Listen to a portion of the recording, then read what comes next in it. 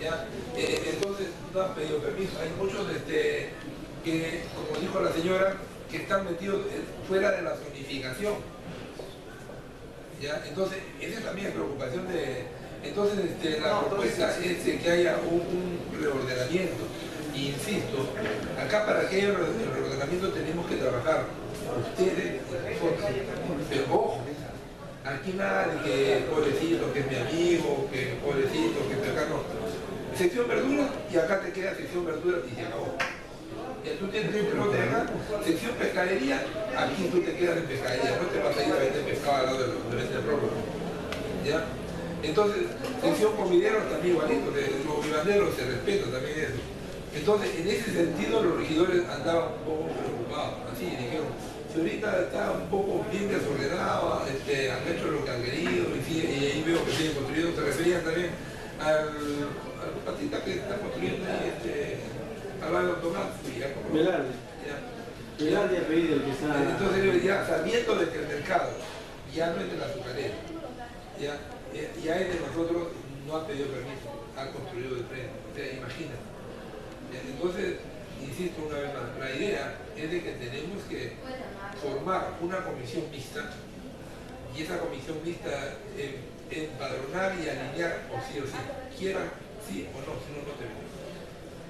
Me, me parece correcto, señor alcalde, por eso yo les preguntaba, ¿no? Por ejemplo, hay pobres que están en diferentes sitios. Entonces, si se vende ahorita así como está, si se independiza, si cada uno con ellos, después no se va a poder ordenar. pues.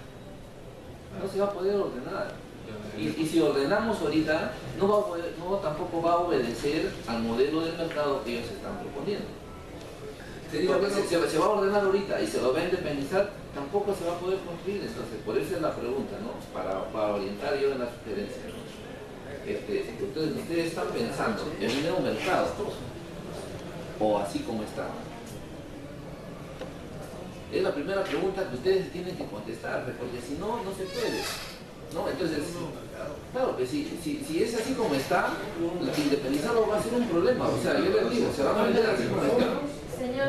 Pero esa es una pregunta que se tienen que contestar ustedes, todos, todos Y ahora ustedes. tiene que ser nuevo, ¿por qué? Es mi sugerencia, ¿no? Al margen de lo que ustedes deciden.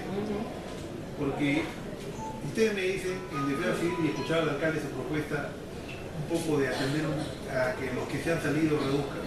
Pero esa posición ya no está tanto en nosotros, sino más que todo en defensa civil. Desde defensa civil dice, el área tiene que estar así y lamentablemente tienen que reducirse, tienen que correrse. Porque si no, no va a ser mercado. Por supuesto. tiene Entonces hay que ser adecuarlo, por eso le digo, es la que tiene que suceder desde el Si no solucionamos, ¿no?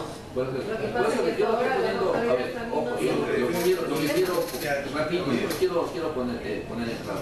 Yo no estoy diciendo que las cosas deben ser como estoy conversando, ¿no? Por eso le digo, yo estoy haciendo una sugerencia que sea debate. Entonces, la pregunta es, ¿hay, ¿debe haber un nuevo mercado o el mercado debe ser como está? La, pregunta, la, posible respuesta que me doy yo, si el mercado está, ya va a ser así como está, entonces ¿cómo lo ordeno? Dos, si lo ordeno ahorita, ¿cómo hago un nuevo mercado? Entonces, por eso es que yo le preguntaba, ¿no? Si, ustedes, supongamos, contestara, es un nuevo mercado, ah, entonces nosotros, ¿qué tendríamos que hacer? Un proyecto del nuevo mercado. Nosotros ya nos encargaríamos de hacer el perfil, el expediente técnico de la construcción del nuevo mercado. ¿Por qué? Porque hay personas que seguramente van a estar en el primer nivel y deben pasar al segundo. Y ahí se van a determinar el área del comercio, el ordenamiento. Ahí van a estar ordenados dónde van a estar los, los que venden verdura, los que venden carne, los que venden este, arroz y esos, esos, esos menesteres, ¿no? Cómo deben ser las vías de acceso,